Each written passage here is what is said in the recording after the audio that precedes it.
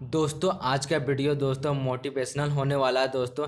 इस वीडियो को अंत तक देखिए दोस्तों, अगर आप एनटीपीसी का जॉब करना चाहते हैं और आप सीरियस है दोस्तों, तभी इस वीडियो को देखिए दोस्तों, वरना इस वीडियो को लीव कर सकते हैं दोस्तों। तो यहाँ पे आप देख सकते हैं दोस्तों कि एनटीपीसी का वैकेंसी पिछली बार कब आया था? 2015 में आया था और अभी कब आया है? 2019 में। लगभग चार सालों के बाद आया है दोस्तों। ये अपॉर्चुनिटी बार बार नहीं मिलेगा दोस्तों। ये सरकारी नौकरी पाना एक अपने आप में एक बहुत बड़ा होता है दोस्तों। बहुत बड़ा जज्बे वाली बात होता है दोस्तों। यहाँ पे आप सरकारी नौकरी और रेलवे की नौकरी एक बहुत इम्पोर्टेंट फैक्टर रोल पद, रोल अदा करता है दोस्तों।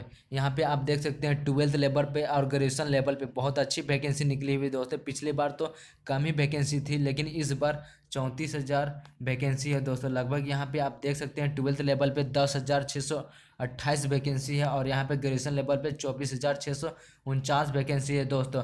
तो इसको मिस बिल्कुल भी नहीं कीजिएगा दोस्तों, अगर आप सीरियस है तो इस वीडियो को अच्छे से देखिए दोस्तों। यहाँ पे आप देख सकते हैं, आप एक बार इस वैकेंसी को अचीव कर लेते हैं दोस्तों तो आपकी लाइफ बन जाएगा दोस्तों।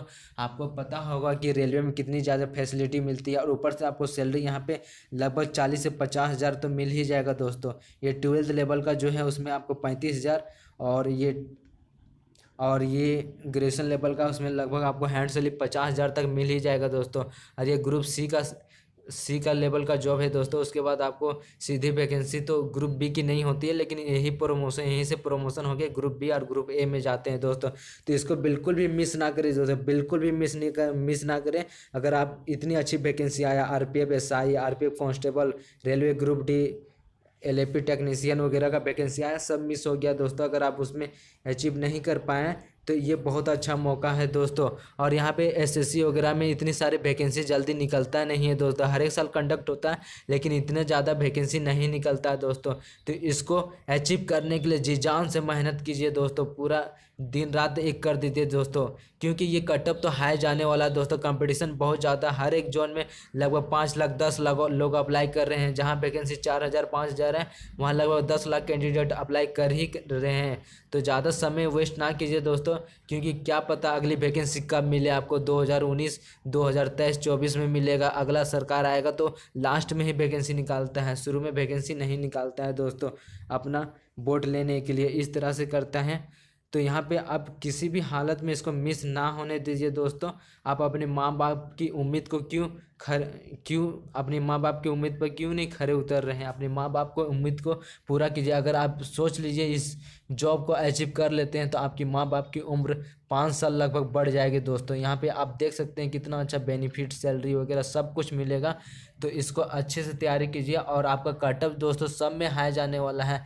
तो अगर आपको अचीव करना है वाकई में तो आपको कम से कम सत्तर से ऊपर राव मार्क्स लाना होगा दोस्तों तब जाके नॉर्मलाइज करके अस्सी नब्बे तक जाएगा। अगर आपका इजी शिफ्ट पड़ता है तो समझ लीजिए कि अगर स पचहत्तर अस्सी लाएँगे तभी जाके कुछ हो पाएगा क्योंकि नॉर्मलाइज में आपका इजी शिफ्ट रहेगा तो कम ही बढ़ेगा। और यहाँ पे आप देख सकते हैं दोस्तों बहुत अच्छा, बहुत अच्छा जॉब है दोस्तों। और यहाँ पे मेडिकल स्टैंडर्ड भी आप देख सकते हैं दोस्तों यहाँ पे किसके लिए कौन सा मेडिकल स्टैंडर्ड लगेगा दोस्तों?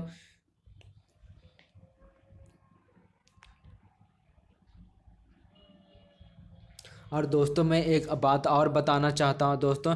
यहाँ पे आपको ये है कि अगर प्रीफरेंस जिस हिसाब से देते हैं, जैसे स्टेशन मास्टर का पहला प्रीफरेंस देते हैं तो उसमें अगर फेल हो जाते हैं और दूसरे में मतलब गुड गार्ड्स में भी आप मतलब सी बी टी टू में क्वालिफाई कर गए हैं तो आपको जॉब मिल जाएगा दोस्तों, क्योंकि उसके लिए आपको साइको टेस्ट नहीं देना पड़ेगा। और बाकी इसमें मतलब फॉर्म भर रहे हैं तो आपको पाँच सौ रुपया ही लगेगा और यहाँ पे आप एलिजिबल हो जाएँगे।